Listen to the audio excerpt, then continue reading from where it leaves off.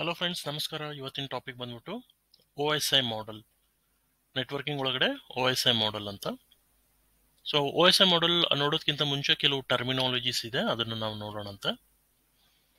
So first ನಾವು bandwidth ಅಂತ ಹೇಳ್ತೀವಿ. So bandwidth so bandwidth ಅಂದ್ರೆ ನೆಟ್ವರ್ಕಿಂಗ್ ಕೇಬಲ್ ಒಳಗಡೆ ಹೋಗ್ತಕ್ಕಂಥ ಸಿಗ್ನಲ್ಗೆ ನಾವು ಬ್ಯಾಂಡ್ ವಿಡ್ತ್ ಅಂತ ಹೇಳ್ತೀವಿ. ಸಿಂಪಲ್ ಆಗಿ ಹೇಳ್ಬೇಕಂದ್ರೆ ಇಲ್ಲಿ ನೋಡಿ ನಿಮಗೆ ಮೂರು ಎಕ್ಸಾಂಪಲ್ಸ್ ಇದೆ. ಸೊ ಒಂದರಲ್ಲಿ ಬಂದ್ಬಿಟ್ಟು ನಿಮಗೆ ಇದು ಒಂದು ಸಿಂಗಲ್ ಲೇನ್ ಅಂತ ಅನ್ಕೊಳ್ಳಿ, ಅಥವಾ ಒನ್ ವೇ ಡೈರೆಕ್ಷನ್ ಇದರಲ್ಲಿ ನಿಮಗೆ ಸಿಗ್ನಲ್ ತುಂಬಾ ಕಡಿಮೆ ಹೋಗುತ್ತೆ. ಇದು ನೋಡ್ಬಿಟ್ಟು ನಿಮಗೆ ಎರಡನೇದೇನಿದೆ ಅಲ್ವಾ? ಇದು ಬಂದ್ಬಿಟ್ಟು ಡಬಲ್ ಲೈನ್ ರೋಡ್ ಇದರಲ್ಲಿ ಏನಿದೆ? ನಿಮಗೆ ಮಲ್ಟಿಪಲ್ ಸಿಗ್ನಲ್ಸ್ ಹೋಗ್ತಾ ಇದೆ. ಅಂದ್ರೆ ಇನ್ಕಮಿಂಗ್ ಮತ್ತೆ ಔಟ್ ಗೋಯಿಂಗ್ ಸೊ ಇದು ನೀವು ನೋಡ್ಬೋದು, ಇದು ಹೈವೇ ರೋಡ್ ಅಂತ ನೋಡು, ಹೇಳ್ಬೋದು ನೀವು ಇದಕ್ಕೆ. ಸೊ ಇದರಲ್ಲಿ ನೋಡಿ ನಿಮಗೆ ಸಿಗ್ನಲ್ ಅನ್ಲಿಮಿಟೆಡ್ ಸಿಗ್ನಲ್ ಹೋಗುತ್ತೆ ಅನ್ಲಿಮಿಟೆಡ್ ಸಿಗ್ನಲ್ ಬರುತ್ತೆ ಓಕೆ ಸೊ ಈಗ ನಾನೇನು ಹೇಳ್ಬೋದು ಅಂದ್ರೆ ಬ್ಯಾಂಡ್ ವಿಡ್ತ್ ನನಗೆ ಇದರಲ್ಲಿ ಜಾಸ್ತಿ ಇದೆ ಅಂತ ಹೇಳ್ಬೋದು ನಾನು. Comparatively first and second diagram ಒಳಗಡೆ ಕಂಪೇರ್ ಮಾಡಿದ್ರೆ ಸೊ ಥರ್ಡ್ ಡಯಾಗ್ರಾಮ್ ಒಳಗಡೆ ನನಗೆ ಬ್ಯಾಂಡ್ ವಿಡ್ತ್ ಜಾಸ್ತಿ ಇದೆ. ಈ ಬ್ಯಾಂಡ್ ವಿಡ್ತ್ ಅಂತ ಏನಿದೆ ಅಲ್ವಾ? ಇದನ್ನ ನಾವು ಯಾವ ಥರ ಮೆಜರ್ ಮಾಡ್ತೀವಿ ಅಂದರೆ, ಇದಕ್ಕೆ ಯೂನಿಟ್ಸ್ ಇರುತ್ತೆ. ಸೊ ಯೂನಿಟ್ಸ್ ಯಾವ ಥರ ಅಂದರೆ, ಇದಕ್ಕೆ ನಾವು ಬಿ ಪಿ ಎಸ್ ಅಂತ ಹೇಳ್ತೀವಿ. ಅಂದರೆ ಬಿಟ್ ಪರ್ ಸೆಕೆಂಡ್ ಅಂತ ಅರ್ಥ. So bit per second so one bit per second ಇದಕ್ಕೆ ನಾವು ಬ್ಯಾಂಡ್ ವಿಡ್ತ್ ಯೂನಿಟ್ ಅಂತ ಹೇಳ್ತೀವಿ. Next kilobit per second K B P S ಅಂತ ಹೇಳ್ತೀವಿ. Kilobit per second K B P S ಅದಾದಮೇಲೆ megabit per second M B P S ಅಂತ ಹೇಳ್ತೀವಿ. ಈಗ ಪ್ರೆಸೆಂಟ್ ನೋಡಿ ನೆಟ್ವರ್ಕಿಂಗ್ ಒಳಗಡೆ ನಾವೇನು ಲ್ಯಾನ್ ಕನೆಕ್ಷನ್ ಯೂಸ್ ಮಾಡ್ತೀವಲ್ವಾ? ಸ್ಟ್ಯಾಂಡರ್ಡ್ ಈಗ ಪ್ರೆಸೆಂಟ್ ಎಷ್ಟಿದೆ ಅಂದ್ರೆ hundred M B P S ಅಂತ ಇದೆ. Megabit per hundred megabit per second. Okay ಕೆಲವು ಕೈ, ಕೆಲವು ಕಂಪ್ನೀಸ್ ಒಳಗಡೆ ಎಲ್ಲ ಲ್ಯಾನ್ ನೆಟ್ವರ್ಕ್ ಎಲ್ಲ ಜಿ ಬಿ ಪಿ ಎಸ್ ಒಳಗಡೆನೂ ಇರುತ್ತೆ. ಫಾಸ್ಟ್ ಅವರಿಗೆ ವರ್ಕ್ ಪ್ರೊಸೆಸ್ ಆಗಲಿ ಅಂತ ನೆಟ್ವರ್ಕಿಂಗ್ ಒಳಗಡೆ. So one G B P S ಇರುತ್ತೆ, ಇಲ್ಲ ten G B P S ಇರುತ್ತೆ. ಓಕೆ ಈಗ ಪ್ರೆಸೆಂಟ್ ನೋಡಿ, ಈಗ internet connection fibre net internet connection ಅಂತ ನಾವು ತಗೊಳ್ತೀವಲ್ವಾ ಅದರಲ್ಲಿ ಇರುತ್ತೆ ನಿಮಗೆ thirty M B P S speed ಬೇಕಾ ಅಥವಾ hundred M B P S speed ಬೇಕಾ ಅಂತ ನಿಮಗೆ ಕೇಳ್ತಾರಲ್ವಾ? ಸೊ ಅದೇ ಥರ. ಸೊ ಕೆಲವು ಕಂಪ್ನೀಸ್ ಎಲ್ಲ ನಿಮಗೆ one G B P S separate ಆಗಿ ಅದಕ್ಕೆ ಲೀಸ್ ಲೈನ್ ಅಂತ ಹೇಳ್ತೀವಿ ನಾವು. One G B P S ಇಲ್ಲ ten G B P S ಅಷ್ಟು ಸ್ಪೀಡ್ ಕಂಪ್ನಿದವ್ರು ಏನು ಮಾಡ್ತಾರೆ ಅಂದರೆ ಇಂಟರ್ನೆಟ್ ಕನೆಕ್ಷನ್ ತೊಗೊಳ್ತಾರೆ ಸೊ ನೆಕ್ಸ್ಟ್ ಹೈಯರ್ ವರ್ಷನ್ ಬಂದ್ಬಿಟ್ಟು ಟಿ ಬಿ ಪಿ ಎಸ್ ಅಂದರೆ terabit per second so unit ನೋಡಿ ಕಡಿಮೆಯಿಂದ ಜಾಸ್ತಿ ಈ ಥರ ಬರುತ್ತೆ ನಿಮಗೆ. ಬಿಟ್ ಪರ್ ಸೆಕೆಂಡ್ ಆಮೇಲೆ ಕಿಲೋ ಬಿಟ್ ಪರ್ ಸೆಕೆಂಡ್ ಆಮೇಲೆ ಮೆಗಾ ಬಿಟ್ ಪರ್ ಸೆಕೆಂಡ್ ಆಮೇಲೆ ಗಿಗಾ ಬಿಟ್ ಪರ್ ಸೆಕೆಂಡ್ ಆಮೇಲೆ ಟೆರಾ ಬಿಟ್ ಪರ್ ಸೆಕೆಂಡ್ ಈ ಥರ ಮೆಮೊರಿ ಯೂನಿಟ್ಸ್ ಕಡಿಮೆಯಿಂದ ಜಾಸ್ತಿ ಈ ಥರ ಹೋಗುತ್ತೆ. Next O S I model open system interconnection ಅಂತ ಹೇಳ್ತೀವಿ ನಾವು. So O S M model ಯಾವುದಕ್ಕೋಸ್ಕರ ಅಥವಾ ಅದು ಯಾವ ಥರ ಕೆಲಸ ಮಾಡುತ್ತೆ ಅಂದರೆ, ಉದಾಹರಣೆಗೆ ನೋಡಿ ನಿಮಗೆ ಏನಿದೆ ಅಂದರೆ ಎರಡು ಸಿಸ್ಟಮ್ ಇದೆ. ಒಂದು ಬಂದ್ಬಿಟ್ಟು ಡಿವೈಸ್ ಎ ಅಥವಾ ಡಿವೈಸ್ ಬಿ ಅಂತ ಹೇಳ್ತೀವಿ. ಇದು ಏನಾಗಿತ್ತು ಅಂದರೆ, ಇದು ಎರಡು ನೆಟ್ವರ್ಕಿಂಗ್ ಒಳಗಡೆ ಇದೆ. ಈಗ ಫಾರ್ ಎಕ್ಸಾಂಪಲ್ ಡಿವೈಸ್ ಎ ಏನಾದರೂ ಒಂದು ಮೇಲ್ ಕಳಿಸಿದಾರಂತ ಅನ್ಕೊಳ್ಳಿ. ಯಾರಿಗೆ? ಡಿವೈಸ್ ಬಿಗೆ ಸೊ ಡಿವೈಸ್ ಎದಿಂದ ಡಿವೈಸ್ ಬಿಗೆ ಒಂದು ಮೇಲ್ ಕಳ್ಸಿದಾರಂದ್ರೆ, ಇದೇನಾಗುತ್ತಂದ್ರೆ, ಇದು ಕಂಪ್ಲೀಟ್ ಈ ತರ ಚಾನಲ್ ಇಂದಾನೇ ಹೋಗ್ಬೇಕಿದು. ಸೊ ಇದಕ್ಕೆ ನಾವು ನೆಟ್ವರ್ಕಿಂಗ್ ಮೀಡಿಯಂ ಅಂತ ಹೇಳ್ತೀವಿ. ಈ ನೆಟ್ವರ್ಕಿಂಗ್ ಮೀಡಿಯಂ ಒಳಗಡೆ ಏನ್ ಮಾಡಿದಾರೆ ಅಂದ್ರೆ ಕ್ಲಿಯರ್ ಆಗಿ ನೆಟ್ವರ್ಕಿಂಗ್ ಅಂಡರ್ಸ್ಟ್ಯಾಂಡ್ ಆಗ್ಲಿ ಅಂತ ಓ ಎಸ್ ಐ ಮಾಡೆಲ್ ಅಂತ ಈ ತರ ಸ್ಟ್ರಕ್ಚರ್ನ ಬಿಲ್ಡ್ ಮಾಡಿದ್ದಾರೆ okay so device A to device B networking ಒಳಗಡೆ ಯಾವುದೇ ಆಕ್ಟಿವಿಟೀಸ್ ಆಗಲಿ ಥ್ರೂ ಈ ಓ ಎಸ್ ಐ ಮಾಡೆಲ್ ಮುಖಾಂತರನೇ ಆಕ್ಟಿವಿಟೀಸ್ ಅದು ರನ್ ಆಗುತ್ತೆ. ಸೊ ಒಂದೊಂದೇ ನಾವು ನೋಡೋಣ. ಲೇಯರ್ಸ್ ಇದರಲ್ಲಿ ಎಷ್ಟಿದೆ ಅಂತ. So why do we need the O S I model O S I model ನಮಗೆ ಯಾವುದಕ್ಕೋಸ್ಕರ ಬೇಕು?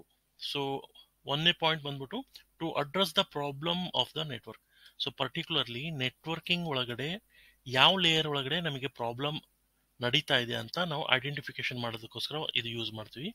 ಸೊ ಇನ್ನೊಂದು so O S I model ಇದು ಯಾರು ಇದನ್ನ ಮಾನ್ಯತೆ ಕೊಟ್ಟಿದ್ದಾರೆ ಅಂದ್ರೆ the international organisation for standardisation I S O international standard organisation ಅಂತಲೂ ಹೇಳ್ತೀವಿ. ಇಲ್ಲಾಂದ್ರೆ ಇಂಟರ್ನ್ಯಾಷನಲ್ ಆರ್ಗನೈಸೇಷನ್ ಫಾರ್ ಸ್ಟ್ಯಾಂಡರ್ಡೈಸೇಷನ್ ಅಂತಲೂ ಹೇಳ್ತೀವಿ. ಇದು ಯಾವಾಗ ಇಂಟ್ರೊಡ್ಯೂಸ್ ಮಾಡಿದ್ರು ಅಂದ್ರೆ released the O S I reference model in nineteen eighty four nineteen eighty four ಒಳಗಡೆ ಇದು ಓ ಎಸ್ ಐ ಮಾಡೆಲ್ ಅನ್ನೋದನ್ನ ಇಂಟ್ರೊಡ್ಯೂಸ್ ಮಾಡಿದ್ರು. So don't get confuse confuse ಆಗಬೇಡಿ ಐ ಎಸ್ ಒ ಅಂದರೆ ಇಂಟರ್ನ್ಯಾಷನಲ್ ಆರ್ಗನೈಸೇಷನ್ ಫಾರ್ ಸ್ಟ್ಯಾಂಡರ್ಡೈಸೇಷನ್ ಅಥವಾ international standard organisation ಅಂತಲೂ ಹೇಳ್ಬೋದು. Next ಇನ್ನೊಂದು ಓ ಎಸ್ ಐ ಅಂದರೆ ಓಪನ್ ಸಿಸ್ಟಮ್ ಇಂಟರ್ ಕನೆಕ್ಷನ್ ಮತ್ತೆ ಇನ್ನೊಂದು ಬರುತ್ತೆ ನಿಮಗೆ. ಐ ಒ ಎಸ್ ಅಂತ ಬರುತ್ತೆ. ಇಂಟರ್ನೆಟ್ವರ್ಕ್ ಆಪರೇಟಿಂಗ್ ಸಿಸ್ಟಮ್ ನೆಟ್ವರ್ಕಿಂಗ್ ಒಳಗಡೆ ರೌಟರ್ ಅಥವಾ ಸ್ವಿಚ್ ಅಥವಾ ಕೆಲವು ಸರ್ವರ್ ಒಳಗಡೆ ಯೂಸ್ ಮಾಡ್ತಕ್ಕಂಥ ಆಪರೇಟಿಂಗ್ ಸಿಸ್ಟಮ್ಗೆ ನಾವು internet working internet work operating system ಅಂತಲೂ ಹೇಳ್ತೀವಿ. I International Standard international standard Open I O S internet operating system don't get confuse the O S I reference model O S I reference model ನೋಡಿ ನಿಮಗೆ ಈ ಥರ ಕಾಣುತ್ತೆ. Memorise ಮಾಡ್ಕೋಬೇಕು. ಈ networking ಒಳಗಡೆ ನಿಮ್ದು ಏನಾದರೂ ಕರಿಯರ್ ನೀವು ಬಿಲ್ಡ್ ಮಾಡ್ತೀರಂದ್ರೆ ಒ ಎಸ್ ಐ ಮಾಡಲ್ ನಿಮಗೆ ಕಂಪಲ್ಸರಿಯಾಗಿ ಗೊತ್ತಿರಬೇಕು. ಮತ್ತೆ ಯಾವ್ಯಾವ ಲೇಯರ್ ಒಳಗಡೆ ಏನೇನು ಡಿವೈಸಸ್ ಬರುತ್ತೆ, ಮತ್ತೆ ಯಾವ ತರ ಡೇಟಾ ಟ್ರಾವೆಲ್ ಆಗುತ್ತೆ, ಅಥವಾ ಅದಕ್ಕೆ ನಾವು ಪ್ಯಾಕೆಟ್ಸ್ ಅಂತಲೂ ಹೇಳ್ತೀವಿ, ಅಥವಾ ಸಿಗ್ನಲ್ಸ್ ಅಂತಲೂ ಹೇಳ್ತೀವಿ. ಯಾವ ತರ ಟ್ರಾವೆಲ್ ಆಗುತ್ತೆ ನಿಮಗೆ ಗೊತ್ತಿರಬೇಕು. The O S I reference model so first layer ಬಂದ್ಬಿಟ್ಟು ಫಿಸಿಕಲ್ ಲೇಯರ್ ಅದಾದ್ಮೇಲೆ data link layer network layer transport layer session layer presentation layer application layer so application layer presentation layer session layer transport layer network layer data link layer physical layer so ನಾವು ಯಾವಾಗಲೂ order wise ಹೇಳಬೇಕು. Either ಕೆಳಗಡೆಯಿಂದ ಮೇಲೆ ಆದರೂ order wise ಹೇಳ, ಹೇಳಬೇಕು. ಅಥವಾ ಮೇಲ್ಗಡೆಯಿಂದ ಆದರೂ ಕೆಳಗಡೆ ಆರ್ಡರ್ ವೈಸ್ ಹೇಳಬೇಕು. ಸೊ ಇದಕ್ಕೆ ನಾವು ಏನು ಹೇಳ್ತೀವಿ ಅಂದರೆ ಪರ್ಟಿಕ್ಯುಲರ್ ಅರೇಂಜ್ಮೆಂಟ್ ಅಂತ ಹೇಳ್ತೀವಿ. ಸೊ ಕ್ಲೀನಾಗಿ ನಿಮಗೆ ಅಂಡರ್ಸ್ಟ್ಯಾಂಡ್ ಅಥವಾ ನೆನಪಲ್ಲಿ ಇಡಬೇಕಂದ್ರೆ ಯಾವ ಥರ word ನೆನ್ಪಿಟ್ಕೋಬೇಕಂದ್ರೆ please do not take sales person advice ಈ ಥರ ನೆನ್ಪಿಟ್ಕೋಬೋದು. Please do not take sales person advice ನೀವು ನೆಟ್ವರ್ಕಿಂಗ್ ಒಳಗಡೆ ಕರಿಯರ್ ನೀವು ಬಿಲ್ಡ್ ಮಾಡ್ತೀರಂದ್ರೆ ಸೊ ಕಂಪ್ಲೀಟ್ ಆಗಿ ವಾಯ್ಸ್ ಮಾಡಲ್ ನೆನಪಿನಲ್ಲಿ ಇರಬೇಕು. So layer number seven application layer ಇದು ಅಪ್ಲಿಕೇಶನ್ ಲೇಯರ್ ಅಂತ ಹೇಳ್ತೀವಿ ನಾವು layer number seven layer deal with networking applications ಈ ಲೇಯರ್ ಒಳಗಡೆ ಏನ್ ಡೀಲ್ ಆಗುತ್ತೆ ಅಂದ್ರೆ ನೆಟ್ವರ್ಕಿಂಗ್ ಅಪ್ಲಿಕೇಶನ್ಸ್ ಎಲ್ಲ ಡೀಲ್ ಆಗುತ್ತೆ. ಸೊ ಯಾವ ಯಾವ ತರ ನೆಟ್ವರ್ಕಿಂಗ್ ಅಪ್ಲಿಕೇಶನ್ಸ್ ಇರುತ್ತಂದ್ರೆ ನೆಟ್ವರ್ಕ್ ಒಳಗಡೆ ನಾವು ಟ್ರಾವೆಲ್ ಮಾಡಬೇಕಾದ್ರೆ ಯೂಸ್ ಮಾಡ್ತಕ್ಕಂಥ ಅಪ್ಲಿಕೇಶನ್ ಇಮೇಲ್ ಸೊ ನಾವೇನು ಮಾಡ್ತೀವಿ, ಯಾರಿಗಾದ್ರೂ email ಕಳಿಸ್ತೀವಲ್ವಾ through particular email address Gmail use ಮಾಡ್ಬೋದು ಹಾಟ್ ಮೇಲ್ ಯೂಸ್ ಮಾಡ್ಬೋದು, ಅಥವಾ ಯಾಹೂ ಮೇಲ್ ಯೂಸ್ ಮಾಡ್ಬೋದು. ಅದಕ್ಕೆಲ್ಲ ನಾವೇನು ಹೇಳ್ತೀವಿ ಅಂದರೆ ನೆಟ್ವರ್ಕಿಂಗ್ ಅಪ್ಲಿಕೇಶನ್ಸ್ ಮತ್ತು ಕೆಲವು ವೆಬ್ ಬ್ರೌಸರ್ಸ್ ಯೂಸ್ ಮಾಡ್ತೀವಿ ನಾವು. ಸೊ ವೆಬ್ ಬ್ರೌಸರ್ಸ್ ಯಾವ್ದು ಯೂಸ್ ಮಾಡ್ತೀವಿ ಅಂದರೆ ಗೂಗಲ್ ಕ್ರೋಮ್ ಯೂಸ್ ಮಾಡ್ತೀವಿ, ಇಲ್ಲಾಂದ್ರೆ ಮೊಜಿಲಾ ಫೈರ್ ಫಾಕ್ಸ್ ಯೂಸ್ ಮಾಡ್ತೀವಿ, ಇಲ್ಲಾಂದ್ರೆ ಇಂಟರ್ನೆಟ್ ಎಕ್ಸ್ಪ್ಲೋರರ್ ಆದರೂ ಯೂಸ್ ಮಾಡ್ತೀವಿ. ಸೊ ಅದೆಲ್ಲ ನಿಮಗೆ ಅಪ್ಲಿಕೇಶನ್ ಲೇಯರ್ ಒಳಗಡೆ ಬರುತ್ತೆ. ಸೊ ನೆಕ್ಸ್ಟ್ ಬಂದ್ಬಿಟ್ಟು presentation layers presentation layer so ಈ ಪ್ರೆಸೆಂಟೇಷನ್ ಲೇಯರ್ ಒಳಗಡೆ ಏನಾಗುತ್ತೆ ಅಂದ್ರೆ ಸೊ ನೀವು ಕಳಿಸಿರ್ತಕ್ಕಂಥ ಡೇಟಾ ಏನಿದೆ ಅಲ್ವಾ ಸೊ ಅದನ್ನ ಎನ್ಕ್ರಿಪ್ಷನ್ ಆಗಿರುತ್ತೆ ಮತ್ತೆ ಕಂಪ್ರೆಷನ್ ಆಗಿರುತ್ತೆ. ಸೊ ಎನ್ಕ್ರಿಪ್ಷನ್ ಅಂದ್ರೆ ಈಗ ನೀವು ಕಳಿಸಿರ್ತಕ್ಕಂಥ ಡೇಟಾ ನಿಮ್ಮ ಕಂಪ್ಯೂಟರ್ ಇಂದ ಹೊರಗಡೆ ಹೋಗೋದ್ಕಿಂತ ಮುಂಚೆ ಅದೇನಾಗುತ್ತೆ ಅಂದ್ರೆ ಎನ್ಕ್ರಿಪ್ಟೆಡ್ ಫಾರ್ಮೆಟ್ ಅಲ್ಲಿ ಇರುತ್ತೆ. ಅಂದ್ರೆ ರೀಡೇಬಲ್ ಫಾರ್ಮೆಟ್ ಅಲ್ಲಿ ಇರಲ್ಲ, ಅದಕ್ಕೆ ನಾವು ಎನ್ಕ್ರಿಪ್ಷನ್ ಅಂತ ಹೇಳ್ತೀವಿ. ಡಿಕ್ರಿಪ್ಷನ್ ಅಂದ್ರೆ ಅದರದ್ದು ಆಪೋಸಿಟ್ ಡಿಕ್ರಿಪ್ಷನ್ ಫಾರ್ಮೆಟ್ ಅಂದ್ರೆ ನಿಮಗೆ ರೀಡೇಬಲ್ ಲ್ಯಾಂಗ್ವೇಜ್ ಅಲ್ಲಿ ಇರುತ್ತೆ.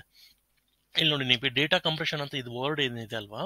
ಇದನ್ನ ಎನ್ಕ್ರಿಪ್ಟ್ ಮಾಡಿದ ತಕ್ಷಣ ನಿಮಗೆ ಈ ತರ ಆಗುತ್ತೆ. ನಿಮಗೆ ಝೀರೋ ಕೆ ನೈನ್ ಇದನ್ನೆಲ್ಲ ನಮಗೆ ಓದಕ್ಕೆ ಆಗಲ್ಲ. ಓನ್ಲಿ ಇದು ಎನ್ಕ್ರಿಪ್ಟೆಡ್ ಲ್ಯಾಂಗ್ವೇಜ್ ಅಂತ ಹೇಳ್ತೀವಿ. ಇದನ್ನ ಡಿಕ್ರಿಪ್ಟ್ ಮಾಡಿದ ತಕ್ಷಣ ನಿಮಗೆ ಈ ತರ ಕ್ಲೀನ್ ಆಗಿ ನಮಗೆ ಹ್ಯೂಮನ್ ರೀಡೇಬಲ್ ಲ್ಯಾಂಗ್ವೇಜ್ ತರ ಕಾಣುತ್ತೆ. ಸೊ ಇದು ಎನ್ಕ್ರಿಪ್ಷನ್ ಮತ್ತೆ ಕಂಪ್ರೆಷನ್ ಅಂತ ಏನಿದೆ ಅಲ್ವಾ? ಈ ಪ್ರೆಸೆಂಟೇಷನ್ ಲೇಯರ್ ಒಳಗಡೆ ಆಗುತ್ತೆ. ಸರಿನಾ? ಸೊ ನೆಕ್ಸ್ಟ್ ಇನ್ನೊಂದು ಡೇಟಾ ಕಂಪ್ರೆಷನ್ ಅಂತ ನಾವು ನೋಡಿದ್ವಿ. ಡೇಟಾ ಕಂಪ್ರೆಷನ್ ಅಂದ್ರೆ ಪರ್ಟಿಕ್ಯುಲರ್ಲಿ ನಿಮ್ದು ಮೇಲ್ ಏನಿರುತ್ತೆ ಅಂತ ಅನ್ಕೊಳ್ಳಿ. ಫಾರ್ ಎಕ್ಸಾಂಪಲ್ ಅದ್ರದ್ದು ಒಂದು ಮ್ಯಾಕ್ಸಿಮಮ್ ಸೈಜ್ ಇರುತ್ತೆ ನೆಟ್ವರ್ಕಿಂಗ್ ಒಳಗಡೆ ಕಳಿಸೋದು. ಆ ಸೈಜ್ ಏನಿದೆ, ಆ ಸೈಜ್ನ ನಾವು ಏನ್ ಮಾಡ್ತೀವಿ ಅಂದ್ರೆ, ಅದನ್ನ ಕಂಪ್ರೆಸ್ ಮಾಡ್ಬಿಟ್ಟು ಮೇಲ್ ಒಳಗಡೆ ಕಳಿಸ್ತಕ್ಕಂಥದ್ದು. ಅಥವಾ ಅದನ್ನ ಜಿಪ್ ಮಾಡ್ಬಿಟ್ಟಾದ್ರೂ ಕಳಿಸೋದು. ಸೊ ನಿಮಗೆ ಪ್ಯಾಕೆಟ್ ಸೈಜ್ ನೆಟ್ವರ್ಕಿಂಗ್ ಒಳಗಡೆ ನಾವು ಡೇಟಾನ ನಾವು ಏನ್ ಹೇಳ್ತೀವಿ ಅಂದ್ರೆ ಪ್ಯಾಕೆಟ್ ಅಂತ ಹೇಳ್ತೀವಿ. ಓಕೆ ಈ ಪ್ಯಾಕೆಟ್ ಸೈಜ್ ಏನಿದೆ ಅಂದ್ರೆ ಸೈಜ್ ಅಲ್ಲಿ ದೊಡ್ಡದಾಗಿದೆ ನೆಟ್ವರ್ಕಿಂಗ್ ಒಳಗಡೆ ಟ್ರಾವೆಲ್ ಮಾಡ್ಬೇಕಂದ್ರೆ ಇದು ಪ್ರೆಸೆಂಟೇಷನ್ ಲೇಯರ್ ಅಲ್ಲಿ ಏನು ಮಾಡುತ್ತೆ ಅಂದ್ರೆ ಅದನ್ನ ಕಂಪ್ರೆಸ್ ಮಾಡಿಬಿಟ್ಟು ನೆಟ್ವರ್ಕ್ ಒಳಗಡೆ ಕಳಿಸುತ್ತೆ. ಓಕೆ ಇದಕ್ಕೆ ನಾವು ಡೇಟಾ ಕಂಪ್ರೆಷನ್ ಅಂತ ಹೇಳ್ತೀವಿ. ನೆಕ್ಸ್ಟ್ ಬಂದ್ಬಿಟ್ಟು ಸೆಷನ್ ಲೇಯರ್ ಈ ಸೆಷನ್ ಲೇಯರ್ ಒಳಗಡೆ ಏನಾಗುತ್ತೆ ಅಂದ್ರೆ ಒಂದು ಸಿಸ್ಟಮ್ ಇಂದ ಇನ್ನೊಂದ್ ಸಿಸ್ಟಮ್ಗೆ ನಿಮಗೆ ಟ್ರಾವೆಲ್ ಮಾಡ್ಬೇಕಂದ್ರೆ ಫಸ್ಟ್ ಸಿಸ್ಟಮ್ ಒಳಗಡೆನೆ ನಿಮಗೆ ಏನಾಗುತ್ತೆ ಅಂದ್ರೆ ಟೈಮ್ ನಿಮಗೆ ಸೆಟ್ ಆಗ್ಬಿಡುತ್ತೆ. ಕರೆಕ್ಟ್ ಈ ಟೈಮ್ ಒಳಗಡೆ ಹೋಗ್ಬಿಟ್ಟು ಇದು ರೀಚ್ ಆಗ್ಬೇಕಂತ ಅರ್ಥ.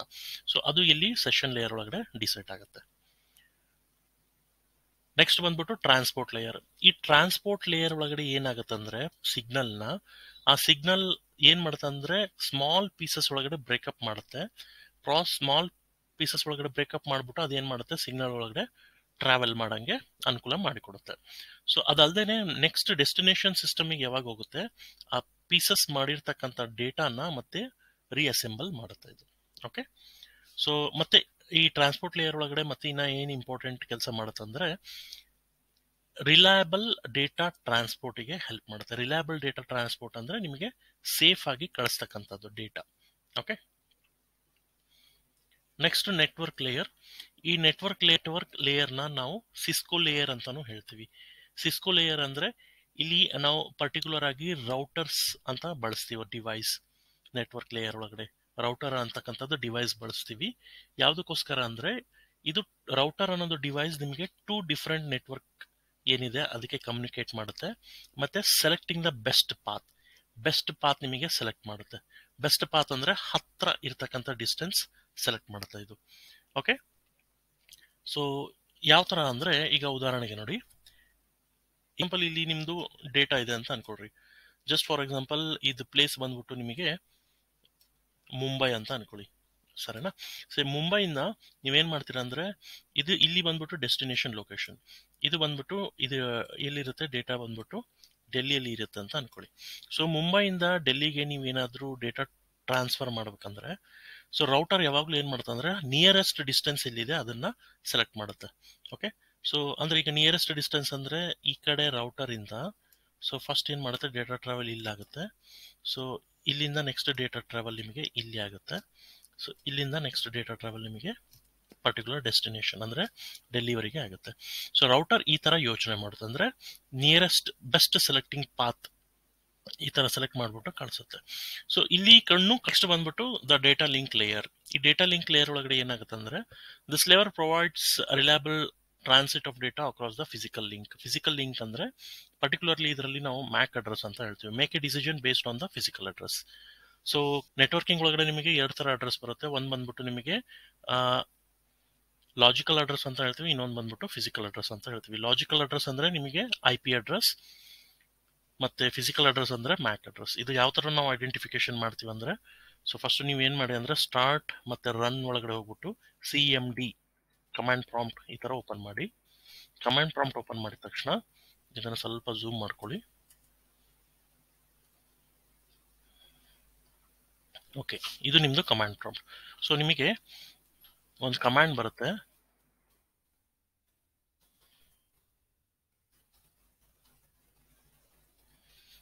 ಐ ಪಿ ಕಾನ್ಫಿಗ್ ಅಂತ ಒಂದು ಕಮಾಂಡ್ ಬರುತ್ತೆ. I P C O N F I G enter ಕೊಟ್ಟ ತಕ್ಷಣ ನಿಮ್ಗೆ ಏನ್ ಬರುತ್ತೆ ಅಂದ್ರೆ ಇಲ್ಲಿ ನಿಮಗೇನು ಐ ಪಿ ಅಡ್ರೆಸ್ ತೋರಿಸ್ತಾ ಇದೆ ನೋಡಿ. I P version four address ಅಂತ ಏನು ತೋರಿಸ್ತಾ ಇದೆ ಅಲ್ವಾ? One ninety two dot one sixty eight dot one twenty nine dot one forty six one ninety two dot one sixty eight dot twenty nine dot one forty six ಇದೇನು I P address ಇದೆ ಅಲ್ವಾ? ಇದಕ್ಕೆ ನಾವು logical address ಅಂತ ಹೇಳ್ತೀವಿ. ಅಂದರೆ ಈ I P address ಏನು ಮಾಡುತ್ತೆ ಅಂದರೆ ಕಮ್ಯುನಿಕೇಷನ್ ಮಾಡುತ್ತೆ. ಒಂದು ಸಿಸ್ಟಮಿಂದ ಇನ್ನೊಂದು ಸಿಸ್ಟಮ್ ಇನ್ನೊಂದು ಬರುತ್ತೆ ನಿಮಗೆ ಫಿಸಿಕಲ್ ಅಡ್ರೆಸ್ ಅಂತ. I config forward forward all A double L all ಅಂತ ಕೊಟ್ಟ ತಕ್ಷಣ, ನೀವು ಎಂಟರ್ ಕೊಟ್ಟ ತಕ್ಷಣ ನಿಮ್ಗೆ ಏನು ಬರುತ್ತೆ ಅಂದ್ರೆ ಫಿಸಿಕಲ್ ಅಡ್ರೆಸ್ ಅಂತಾನೆ ನಿಮಗೆ ಇಲ್ಲಿ ಮೆನ್ಷನ್ ಬರುತ್ತೆ.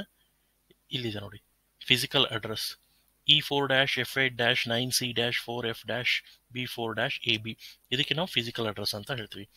ಸರಿನಾ?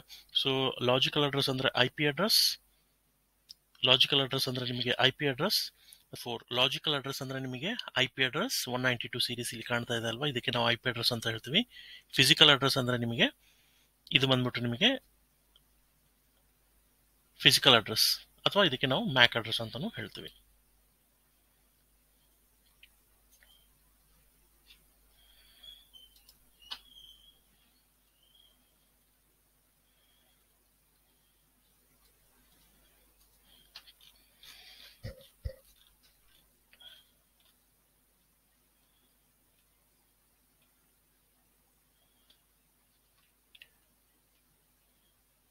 ಸೊ ಈ ತರ ನಿಮಗೆ ಡಿಫ್ರೆನ್ಸ್ ಗೊತ್ತಾಯ್ತು. ಐ ಪಿ ಅಡ್ರೆಸ್ ಮತ್ತು ಮ್ಯಾಕ್ ಅಡ್ರೆಸ್ ಒಳಗಡೆ ಏನು ಡಿಫ್ರೆನ್ಸ್ ಅಂತ. ನೆಕ್ಸ್ಟ್ ಬಂದ್ಬಿಟ್ಟು ಫಿಸಿಕಲ್ ಲೇಯರ್ ಸೊ ಈ ಫಿಸಿಕಲ್ ಲೇಯರ್ ಒಳಗಡೆ ಏನಾಗುತ್ತೆ ಅಂದ್ರೆ ಸೊ ಫಿಸಿಕಲ್ ಲೇಯರ್ ಒಳಗಡೆ ನಾವು ಕಂಪ್ಲೀಟ್ ಆಗಿ ಒಂದು ಫಿಸಿಕಲ್ ಮೀಡಿಯಾನೇ ಬಳಸ್ತೀವಿ ಅಂದ್ರೆ types of cables types of connectors ಅದನ್ನೆಲ್ಲ. ಸೊ ಇಲ್ಲಿ ಫಿಸಿಕಲ್ ಲೇಯರ್ ಒಳಗಡೆ ನಾವು ಕ್ಯಾಟ್ ಫೈ ಕೇಬಲ್ ಆದ್ರೂ ಬಳಸ್ಬೋದು. ಇಲ್ಲಾಂದ್ರೆ ಕೋಆಕ್ಷಲ್ ಕೇಬಲ್ ಆದ್ರೂ ಬಳಸ್ಬೋದು. ಓಕೆ ಇಲ್ಲಾಂದ್ರೆ ನಿಮಗೆ ಕ್ಯಾಟ್ ಫೈ ಕೇಬಲ್ ಅಂದ್ರೆ U U T P cable ಅಂತ ಹೇಳ್ತೀವಿ ನಾವು. ನೆಟ್ವರ್ಕಿಂಗ್ ಒಳಗಡೆ ಲ್ಯಾನ್ ಒಳಗಡೆ ಬಳಸಕ್ಕಂಥ ಕೇಬಲ್ ಇಲ್ಲಾಂದ್ರೆ ನಾವು ಫೈಬರ್ ಆಪ್ಟಿಕ್ ಕೇಬಲ್ ಆದ್ರೂ ಬಳಸ್ಬೋದು. ಫೈಬರ್ ಆಪ್ಟಿಕ್ ಕೇಬಲ್ ಒಳಗಡೆ ನಿಮಗೆ ಸ್ಪೀಡ್ ಜಾಸ್ತಿ ಬರುತ್ತೆ. ಸೊ ಇದು ಬಂದ್ಬಿಟ್ಟು ನಿಮಗೆ ಒ ಎಸ್ ಐ ಮಾಡೆಲ್ ಅಂತ ಹೇಳ್ತೀವಿ ನಾವು. ಸೊ ಇದು particularly O S I model ಅನ್ನೋದು ನೆಟ್ವರ್ಕಿಂಗ್ ಒಳಗಡೆ ತುಂಬಾ ಇಂಪಾರ್ಟೆಂಟ್ ಓಕೆ ಥ್ಯಾಂಕ್ ಯು